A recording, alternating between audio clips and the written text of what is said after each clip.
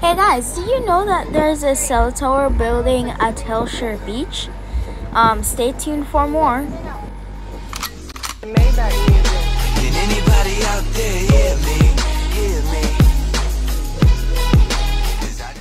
Okay, so guys, I'm going to give you some information about cell towers. Um, is it okay to live near a cell tower? Well, the question is, I don't really know. So we're going to um read this thing. If you live within a quarter mile of a cell phone antenna or tower, you may be at risk of serious harm to your health, according to a German study cited at um www emfhealth.com, a site devoted to exposing hazards associated with electromagnetic frequencies from cell phone towers and other sources.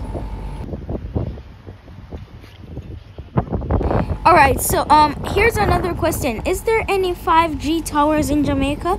To be certain, there is absolutely no scientific or technological proof connecting 5G technology with the spread of the coronavirus. On top of this, neither Flow nor Digicel have deployed any 5G infrastructure infrastructure on our mobile towers to date. Any reports to the contrary are absolutely All right, so false. guys, here's a lovely view of the beach. Um, as you can see, there's a little bit of seaweed over there.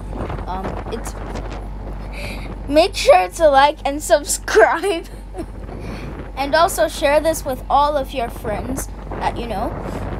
And um yeah, this is seaweed. I know it makes the ocean look kind of yucky, but um, all right. So guys, here is another question. What is a cell tower? Well, I am going to tell it to you. Cell towers are usually built by a tower company or a wireless carrier looking to expand their network coverage or capacity.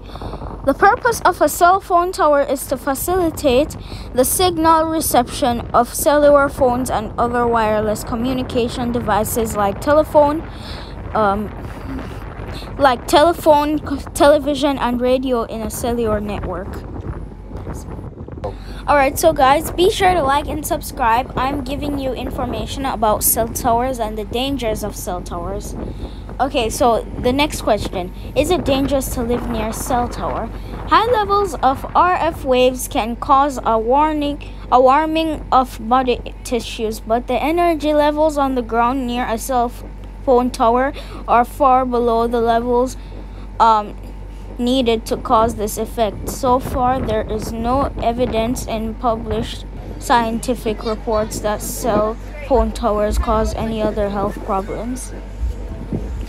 Health effects of cell phone cell phone towers, antennas, and 5G devices basic Based on the available scientific evidence, there are no health risks from exposure to low levels of radio frequency M- EMF, which people are exposed to from cell phone, cell phone towers, anten- antennas, and 5G devices.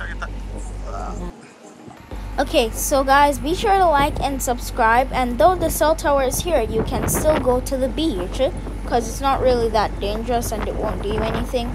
Um, although it's still getting built, so um, I don't think it works yet. But uh, yeah, be sure to like and subscribe and share with your friends. I'll keep you posted. And um, yeah, I hope you have a nice time and uh, enjoy the rest of your day. Goodbye.